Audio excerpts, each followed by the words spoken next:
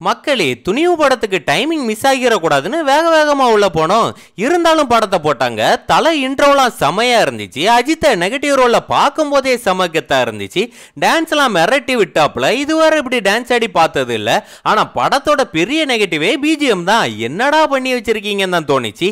தலையோட அந்த screen presence style dance எல்லாமே அவ்வளோ பக்காவாக இருக்குது ஆனால் இந்த பிஜிஎம்னால அதெல்லாம் ஏதோ ஒரு மாஸ் ஃபீல் லைட்டாக குறையிற மாதிரி இருந்துச்சு.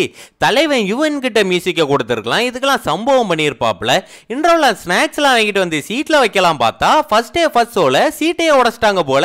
கையோட வந்துட்டு பாப்கார்ன் சில டைம் நல்லா இருக்குது சில டைம் சொதப்பிடுறாங்க. இப்போ என்ன மக்கு வாடை அடிச்சது? ஆனால் சிக்கன் பப்ஸ் செமையாக இருந்துச்சு. அப்படியே செகண்ட் ஹாஃப்ல மக்களை எப்படி ஏமாத்துறாங்க எப்படி விழிப்புணர்வாக இருக்கணும்னு சொல்லியிருக்காங்க. தலை வில்லன் கிடையாது ஹீரோ தான் படத்தை முடிச்சிருக்காங்க. நீங்கள் படம் பார்த்துட்டீங்கன்னா உங்கள் கருத்தை கமெண்ட்டில் சொல்லுங்கள்